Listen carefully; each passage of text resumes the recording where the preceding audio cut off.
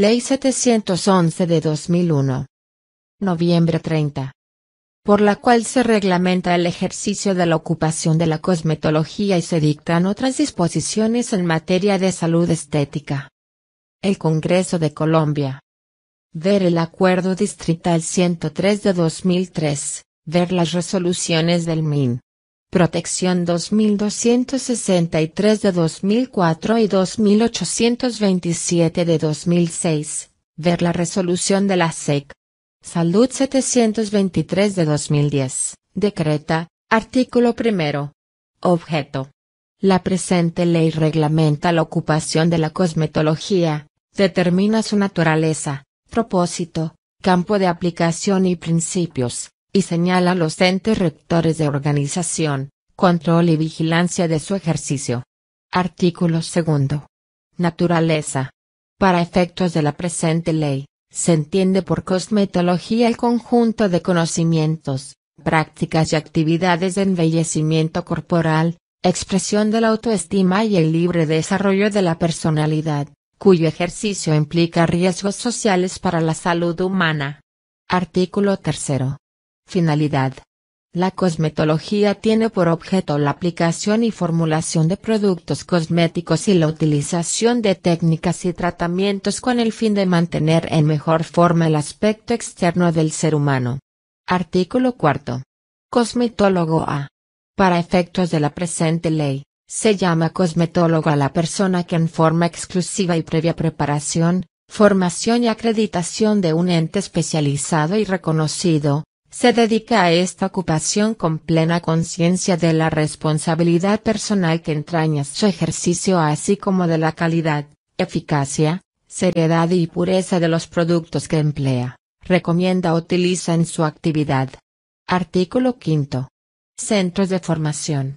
Las instituciones de educación superior, así como las de educación no formal, de conformidad con las normas vigentes para unas y otras, podrán ofrecer programas de capacitación teórica signo de interrogación abierta práctica en el área de la cosmetología, con una intensidad mínima de 500 horas, todo dentro del marco constitucional de autonomía, educativa y formativa. Parágrafo. La entrega de acreditaciones, certificados, diplomas o constancias sin el lleno de los requisitos legales y reglamentarios será causal de cierre de la institución que incurra en esa irregularidad, la que será impuesta por la autoridad educativa, con observancia del debido proceso, a tenor de lo previsto en el Código Contencioso Administrativo. Artículo 6. Principios. El ejercicio de la cosmetología se rige por criterios humanísticos, de salud e imagen personal, razón por la cual deberá desarrollarse en centros destinados para ese fin o complementarios. El cosmetólogo observará los siguientes preceptos. A. Deberá presentar en forma impecable, saludable e higiénica el centro de estética. B. Obtendrá de las autoridades la autorización, el permiso o concepto de ubicación que exigen las normas nacionales y normas locales complementarias. C. Utilizará equipos, instrumentos e implementos debidamente esterilizados, y empleará materiales desechables en procedimientos de estética. D. Dedicará el tiempo necesario al usuario en la prestación del servicio, con criterios de calidad, seriedad y honestidad. E. Aplicará sus conocimientos, habilidades y destrezas en forma consciente, sobre y saludable sobre usuarios que no presenten enfermedades notorias, notables o evidentes, de tener dudas, exigirá una certificación de un profesional de la medicina, con preferencia de un dermatólogo, F. Solo aplicará y empleará medios diagnósticos o terapéuticos aceptados y reconocidos en forma legal, G. Solo empleará o utilizará en sus procedimientos productos debidamente autorizados u homologados por el INVIMA, H. No tratará a menores de edad sin la previa autorización escrita y autenticada de sus padres o representantes, y, no expondrá a los usuarios a riesgos injustificados y solo con expresa y consciente autorización aplicará los tratamientos, elementos o procedimientos sobre su piel. J. Guardará y observará con postura, respeto, sigilo y lealtad con sus usuarios, compañeros, jefes o dependientes. K. Empleará la publicidad como medio de mercadeo observando principios éticos y sin que induzcan en error a los usuarios. 1. Fijará sus honorarios con criterios de jerarquía formativa y con arreglo a la situación económica de los usuarios. Artículo 7. Prohibiciones. El, la, cosmetóloga no puede realizar ningún procedimiento, práctica o acto reservado a los médicos o profesionales de la salud. Artículo 8. Campo de ejercicio. El, la, cosmetólogo, A, podrá realizar procedimientos de limpieza facial, masajes faciales y corporales, depilación, drenaje linfático manual y en general todos aquellos procedimientos faciales o corporales que no requieran de la formulación de medicamentos, intervención quirúrgica, procedimientos invasivos o actos reservados a profesionales de la salud. Artículo 9. Del ejercicio. Nadie podrá anunciarse, ejercer o desempeñarse como cosmetólogo A, ni abrir al público centro de belleza, de cosmetología o estética sin haber cursado el ciclo de educación básica secundaria completa y haber cursado un programa de capacitación teórica signo de interrogación abierta práctica en el área de la cosmetología de conformidad con lo previsto en el artículo 5 de la presente ley. El, la, cosmetólogo A, puede ejercer la docencia en el campo o área específica de la cosmetología, así como laborar en medios de comunicación, programas o eventos publicitarios que se relacionen con su ocupación. Parágrafo. Las personas que a la entrada en vigencia de la presente ley ejerzan la ocupación de la cosmetología sin reunir los requisitos aquí previstos tendrán un plazo máximo de tres años a partir de su entrada en vigor para legalizar su ocupación. Artículo 10. De la acreditación de centros de cosmetología y similares. La acreditación es un procedimiento voluntario y periódico, orientado a demostrar el cumplimiento de estándares de calidad superiores a los exigidos por la ley en materia de características técnicas, científicas, humanas, financieras y materiales de los centros de estética y similares. Las autoridades de salud de los municipios y distritos reglamentarán el procedimiento administrativo que se requiera para el efecto. La acreditación no es una licencia, sino una distinción y un estímulo para el ejercicio cada vez más calificado de la cosmetología. Artículo 11. Centros de estética. La prestación de los servicios de cosmetología únicamente podrá darse en centros de estética, institutos de belleza, consultorios médicos o establecimientos destinados para ese fin que cumplan con los requisitos sanitarios exigidos por las leyes sus reglamentos o las normas municipales aplicables. Artículo 12. Supervisión. Los organismos encargados de supervisar la prestación de servicios de salud en los municipios y distritos del país deberán verificar el estricto cumplimiento de las normas y requisitos sanitarios de los establecimientos donde se lleven a cabo actividades a las que se refiere la presente ley. Asimismo, tendrán a su cargo las tareas de inspección, vigilancia y control de los servicios de cosmetología que se presten en su jurisdicción para efectos de lo cual procederán a elaborar un censo de centros y personas dedicados a la ocupación, dentro de los seis, seis meses siguientes a la vigencia de esta ley. Este censo será actualizado cada año. Artículo 13. Comisión Nacional del Ejercicio de la Cosmetología. Como órgano asesor y consultor del Gobierno Nacional, créase la Comisión Nacional del Ejercicio de la Cosmetología, con sede en la ciudad de Bogotá. D. C. Artículo 14. Integración. La Comisión Nacional del Ejercicio de la Cosmetología, estará integrada de la siguiente manera. A. El Ministro de Salud o su delegado. B. El Superintendente de Salud o su delegado. C el director de INVIMA o su delegado, d. Dos representantes de las asociaciones de cosmetólogos del país, elegidos en forma democrática, e. Un representante de las asociaciones colombianas de dermatología o, en su defecto, un médico dermatólogo, seleccionado por la Academia Nacional de Medicina. F. Un delegado de los laboratorios especializados en la producción de cosméticos. G. Un representante de las instituciones de educación formal o no formal que ofrezcan programas de cosmetología. Como secretario técnico, oficiará un jefe de división que designe el ministro de Salud. Parágrafo primero. El gobierno reglamentará la forma de elección democrática de los representantes del sector privado que integran la comisión. Su periodo será de dos años. Parágrafo segundo.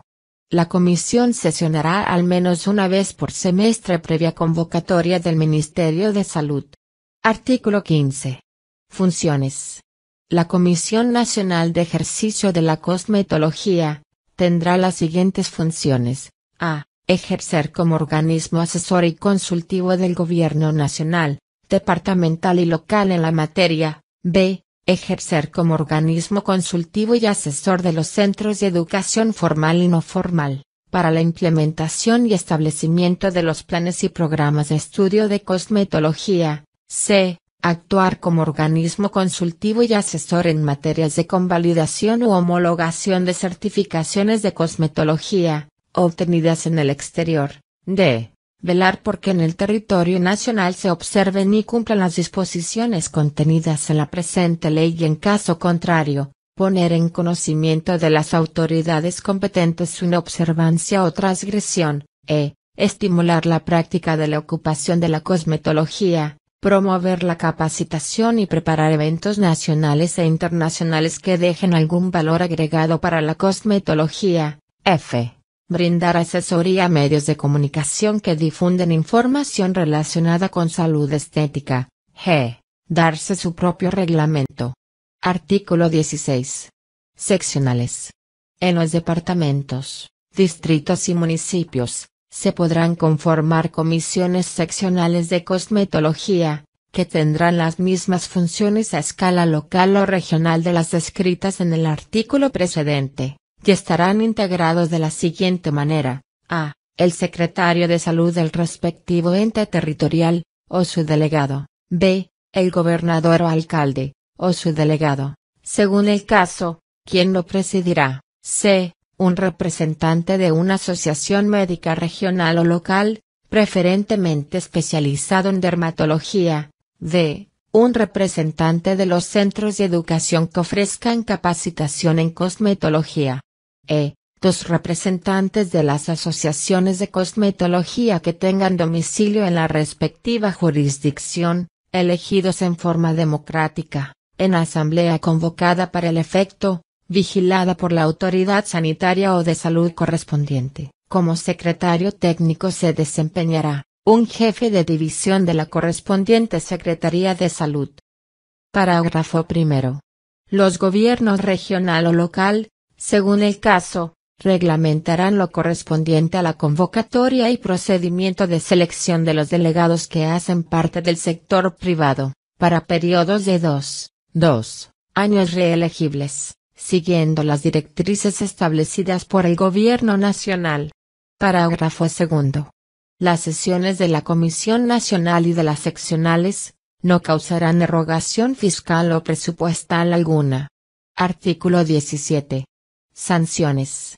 El incumplimiento e inobservancia de las disposiciones consagradas en la presente ley, sin perjuicio de las demás acciones administrativas, penales, civiles o policivas, según el caso, generará las siguientes sanciones. A. Amonestación privada. B. Amonestación pública. C. Multas sucesivas de hasta de 100, 100 salarios mínimos legales vigentes, SMLV, D. Suspensión de la personería jurídica, E. Cierre temporal del centro de estética o de cosmetología, F.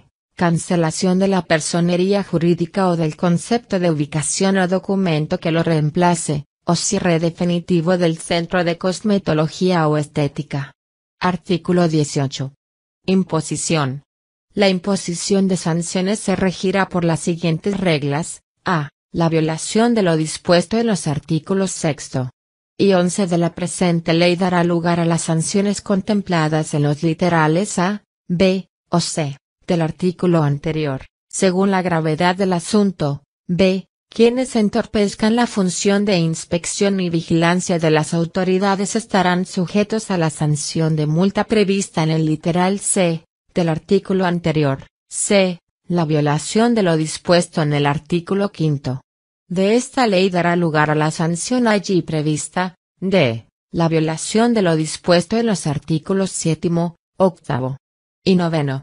De la presente ley dará lugar a las sanciones previstas en los literales de e, o F, del artículo anterior, e, la violación de lo dispuesto en el artículo noveno. De la presente ley dará lugar a sanciones establecidas en los literales B, C, D, y E, del artículo anterior, en forma sucesiva si existe reincidencia, las cuales se aplicarán vencido el plazo de transición previsto en ese artículo. Parágrafo primero corresponde a las autoridades de salud del respectivo municipio imponer las sanciones en primera instancia, con apelación ante los alcaldes. Parágrafo segundo. Los procedimientos aplicables serán los previstos en la parte general del Código Contencioso Administrativo. Artículo 19. De la caducidad y la prescripción.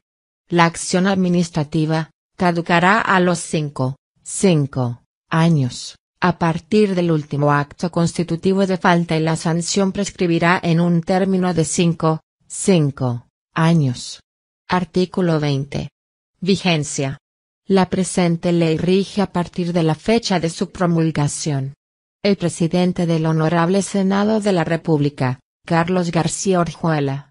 El secretario general del Honorable Senado de la República, Manuel Enríquez Rosero el presidente de la Honorable Cámara de Representantes, Guillermo Gaviria Zapata.